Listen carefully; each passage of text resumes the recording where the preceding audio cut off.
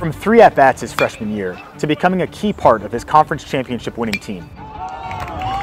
This is the Bryce McFeely story. At the recommendation of teammates, the Seattle native came to Driveline in search of a way to gain playing time. He was very vertical with his with his torso, and during his stride, he liked to jump out or basically push out and fully extend out of his back leg. A lot of long bat, uh, trying to get his point of contact a little bit further out front uh, and get used to kind of releasing the barrel a little bit more and then really getting after it with the speed trainers um, and, and, using blast really frequently to, to, kind of monitor his attack angle through throughout that training process. With the improvements he made during Driveline's college summer, he broke out this spring. A 939 OPS, 41 RBIs, and more walks than strikeouts. McFeely credits his success to his time at Driveline, saying, I think it was probably the best thing for me.